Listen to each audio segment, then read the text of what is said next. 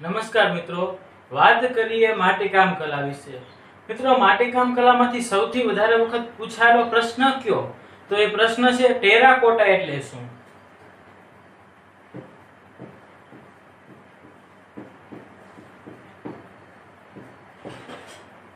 તો મિત્રો, ટેરાકોટા એટલે શું? તો પકવેલી માટી છે, એને આપણે ટેરાકોટા કહી શકીએ. એટલે અહીંયા લખી શકાય પકવેલી માટી.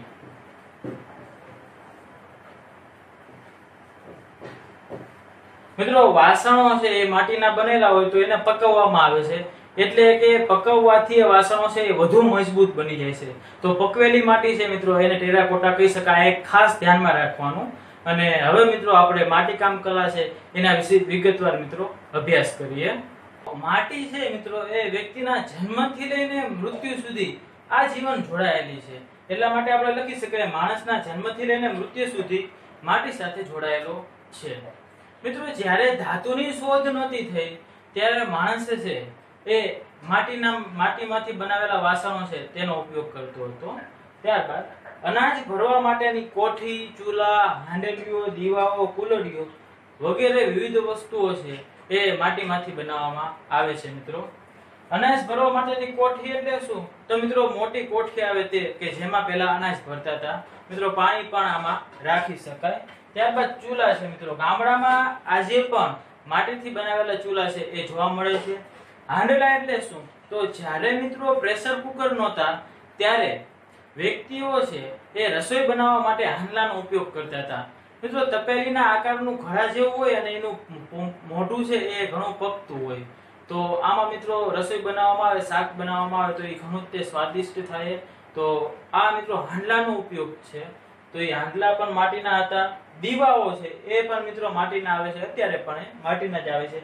કુલરીઓ છે નાની એવી, તો એ કુલરીઓ પણ મિત્રો માટીની હોય છે. તો માટીની વિવિધ વસ્તુઓની વાત કરી, ત્યારબાદ દિવાલને રક્ષણ આપવા માટે માટીનો ઉપયોગ થતો હતો. મિત્રો ડાયરેક્ટ માટી છે એ દિવાલમાં ન લગાડી શકાય. એની સાથે મિત્રો છાણ છે એ મિક્સ કરવું પડે.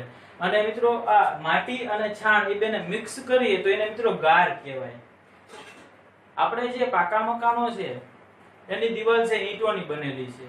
અને એના ઉપર મિત્રો પ્લાસ્ટર કરવામાં આવે છે. પણ કાચા મકાનો છે મિત્રો, એ માટી અને પથ્થરના બનેલા હોય છે અને એમાં મિત્રો પ્લાસ્ટર ન થઈ શકે. તો એટલા માટે મિત્રો દેશી પ્લાસ્ટર છે એ શું? તો ગાર. ગાર એટલે મિત્રો શું? તો માટી રાખી હોય અને એમાં છાણ નાખ્યું હોય અને પાણી નાખીને એને મિક્સ કરી દે અને મિત્રો દિવાલ ઉપર લીંપી દે. તો એને આપણે ગાર કહી શકાય. તો ગાર કરવામાં દિવાલને રક્ષણ આપવા માટે પણ માટીનો ઉપયોગ છે. એ થતો હોય છે. મિત્રો વિવિધ વાસણો છે. રસોડાના વાસણો. એમાં પ્રવાહી રાખવા માટે પણ માટીના વાસણોનો ઉપયોગ થતો હતો. દૂધ, દહીં, છાશ, માખણ, પાણી, તેલ વગેરે પ્રકારના પ્રવાહી છે. એ રાખવા માટે માટીના વાસણોનો ઉપયોગ થતો હતો. મિત્રો, લોથલ, મોહેન્જો અને હડપ્પા.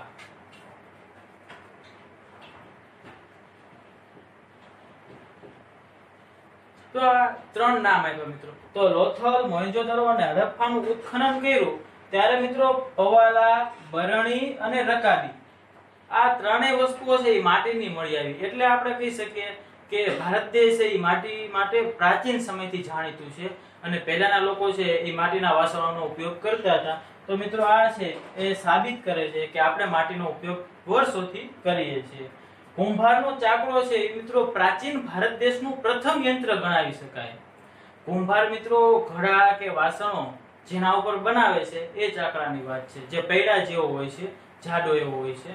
તો મિત્રો, એ કુંભારનો ચાકડો છે, એ ભારતનું પ્રથમ યંત્ર ગણાવી શકાય. તમારામાંથી ઘણા બધા વિદ્યાર્થીઓ આ ચાકડો જોયો પણ હોય. મિત્રો, ગરબો. નવરાત્રીમાં બહેનો ગરબે રમવા જાય, તો પહેલા ગરબો લઈ જતા હતા. અત્યારે મિત્રો, ગરબો નથી લઈ જતા. અત્યારે છે, એ એમ નામ જાય છે, ગરબો છે, એ ઘરે પહેર્યો હોય છે. અથવા તો નવરાત્રીમાં નાની નાની દીકરીઓ છે, એ ગરબો લઈને મિત્રો, પીપર માંગવા માટે આવતી હોય છે. આપણે ઘોઘો પીપર કહીએ તે. તો એ ગરબો છે, એ પણ માટીમાંથી બનેલો હોય છે. ગરબો એટલે શું? તો આપણને ખબર છે ગરબો એટલે શું? પણ પરીક્ષામાં મિત્રો કઈ રીતે લખવું? તો ગરબો એટલે નાનકડો ઘડો કે જેમાં હોલ પાડેલા હોય છે, કાણા પાડેલા હોય છે અને એની અંદર દીવો મૂકવામાં આવે છે. અને જ્યારે આ દીવો, દીવાને પ્રગટાવવામાં આવે, ત્યારે જે ગરબામાં રહેલા હોલ છે, તેમાંથી મિત્રો પ્રકાશ છે, એ બહાર આવતો હોય. તો ગરબો એટલે કાણા વાળો માટીનો નાનકડો ઘડા જેવું વાસણ અને એની અંદર દીવો મૂકવામાં આવે છે. ત્યારબાદ મિત્રો, ત્યાંથી આપણને માટીના અવશેષો છે એ પ્રાપ્ત થયા. તો દક્ષિણ ભારત છે દક્ષિણ દિશામાં. તેમાં એક નામ આપ્યું છે નાગાર્જુન કોંડા. તો દક્ષિણ ભારતનું નાગાર્જુન કોંડા છે. ત્યાંથી મિત્રો માટીના વાસણો છે એ મળી આવેલા, અવશેષો મળી આવેલા. એટલે આપણે કહી શકીએ કે ભારત પ્રાચીન સમયથી માટીનો ઉપયોગ કરે છે. અને મિત્રો, ગુજરાતમાં પણ માટીના અવશેષો મળી આવેલા. ગુજરાતમાં કઈ જગ્યાએ? તો મહેસાણા જિલ્લો. જિલ્લો પૂછે તો મહેસાણા અને કયા સ્થળે? તો લાંગણજ નામનું સ્થળ છે. તેમાંથી મિત્રો માટીના અવશેષો છે એ પ્રાપ્ત થયેલા છે. તો આ બે જગ્યાઓ આપણને આપી જ્યાંથી માટીના અવશેષો પ્રાપ્ત થાય છે. ફરીવાર મિત્રો માટીકામ કલા છે, એને વિગતવાર જોઈ લઈએ. તો માણસ જન્મથી લઈને મૃત્યુ સુધી માટી સાથે જોડાયેલો છે. જ્યારે મિત્રો ધાતુની શોધ નથી થઈ, ત્યારે માણસ છે એ માટીનો ઉપયોગ કરતો હતો. માટીના ઉપયોગ માટેના વિવિધ કેવા કેવા પ્રકારના વાસણો છે? તો મિત્રો, અનાજ ભરવા માટેની કોઠી, ચૂલા, હાંડલા, દીવા, કુલડીઓ વગેરે પ્રકારના વાસણો છે એ જોવા મળે છે. ત્યારબાદ દિવાલને રક્ષણ આપવા માટે માટીનો ઉપયોગ થતો હતો. ગાર, આ શબ્દ છે ગાર. એ ટેક્સ્ટ બુકમાં આપેલો નથી. માત્ર માટી અને છાણ આપેલો છે. તો ગાર એટલે માટી અને છાણનું મિશ્રણ અંદર પાણી નાખે અને દિવાલ ઉપર પ્લાસ્ટર કરવામાં આવે. તે લીપે તેને આપણે ગાર કહીશું. વિવિધ વાસણો છે. રસોડાના વાસણો પ્રવાહી. તો એ પ્રવાહી ભરવા માટે આ વાસણોનો ઉપયોગ થતો હતો. મિત્રો, દૂધ, દહીં, ઘી, છાશ, માખણ, પાણી, તેલ વગેરે ભરવા માટે પણ વાસણોનો ઉપયોગ થતો હતો. હવે લોથલ, મોહેજો દડો અને હડપ્પા આ ત્રણ સ્થળેથી મિત્રો આપણને અવશેષો છે એ પ્રાપ્ત થયા અને બીજા બે સ્થળો હોય તો દક્ષિણ ભારત છે એમાં નાગાર્જુનકોંડા અને ગુજરાતના મહેસાણાના લાંગણજ જિલ્લામાં. તો આ બંને જગ્યાએથી માટીના અવશેષો છે એ પ્રાપ્ત થયા. જેનેથી આપણને મિત્રો માહિતી મળે કે પ્રાચીન લોકો છે એ માટીનો ઉપયોગ કરતા હતા. કેવા કેવા વસ્તુઓ છે એ મળી આવેલી? તો પવાલા, બરણી અને રકાબી છે એ મળી આવેલા છે. કુંભારનો ચાકડો મિત્રો પ્રાચીન ભારતનું પ્રથમ યંત્ર ગણાવી શકાય. પરીક્ષામાં પૂછે કે પ્રાચીન ભારતનું પ્રથમ યંત્ર શેને માનવામાં આવે છે? તો મિત્રો ચાકડાને ત્યારબાદ આપેલું છે ગરબો. તો નવરાત્રીમાં મિત્રો ગરબો છે એ જોવા મળતો હોય છે.